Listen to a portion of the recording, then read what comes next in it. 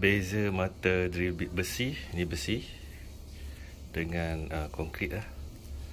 Okay, tengok lah yang konkrit punya. Sebelah kiri yang sebelah kanan besi okay, besi nampak dia punya tips dia tu hujung dia tu tajam. Tajam. Kalau yang konkrit dia tumpul. Ha, macam tu. Ni pandangan atas dia. Nampak? Yang sebelah kanan besi oh, fokus sebelah kanan besi sebelah kiri konkrit ataupun simen atau simen pun boleh. Macam tu eh. Besi kanan nampak? Dia tajam. Konkrit simen ataupun simen tumpul sikit. Ha, macam tu. Kanan besi kiri konkrit.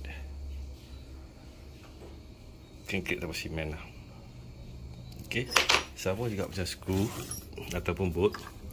Ok kalau bolt untuk si channel apa semua kan ha, dia besi kan. Nampak dia punya hujung tajam. Macam ekor udang kan ha, ni. Ni tajam untuk besi. Ha, kalau macam ni untuk kayu.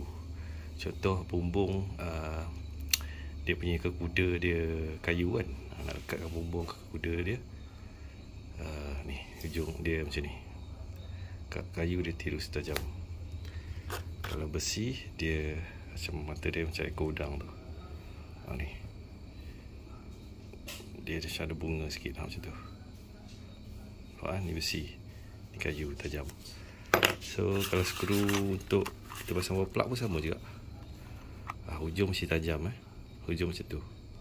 Ha, baru boleh wall plug kalau skru yang mata hujung udang ni ha, tak boleh tak boleh masuk wall plug dia memang kena direct ke besi ok untuk pakai dengan wall plug kena cari skru yang tajam macam ni hujung dia tajam dan kalau skru yang ada bunga macam ekor udang eh.